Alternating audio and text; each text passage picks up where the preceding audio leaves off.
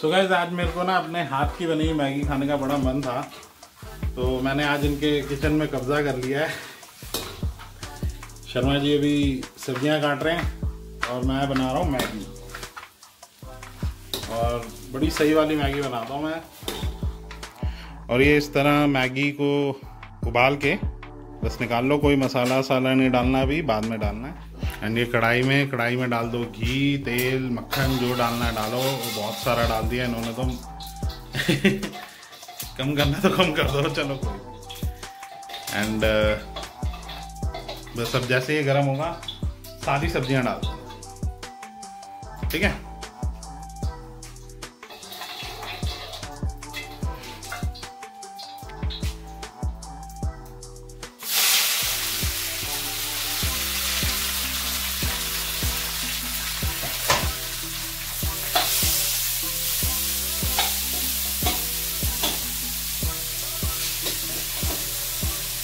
वही लाइन देते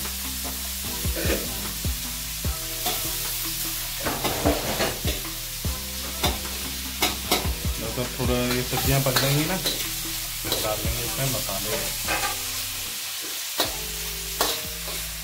और भाई इसी में डाल दो सब, नमक, हल्दी, लाल मिर्च, गरम मसाला, जो डालना डालो। एंड इन सब्जियों को थोड़ा सा पकने दो। बस बस, बहुत है बहुत है थोड़ा थोड़ा ज़्यादा नहीं।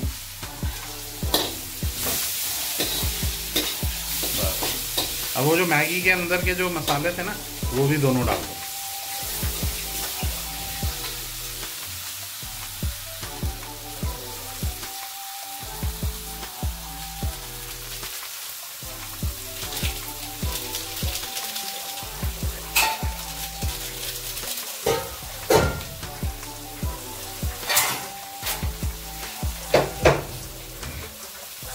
चलाओ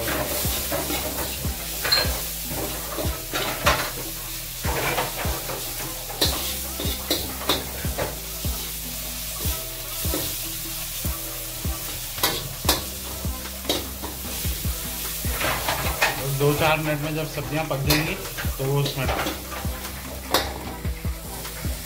पानी डाल दो। नहीं नहीं, कुछ नहीं, पानी बिल्कुल नहीं सारी मैगी इसमें डाल दो। एंड मिक्स कर। दो और स्लो उस पर ही धीमी आँच पे और कम कर दो। इसे अब थोड़ा पकना।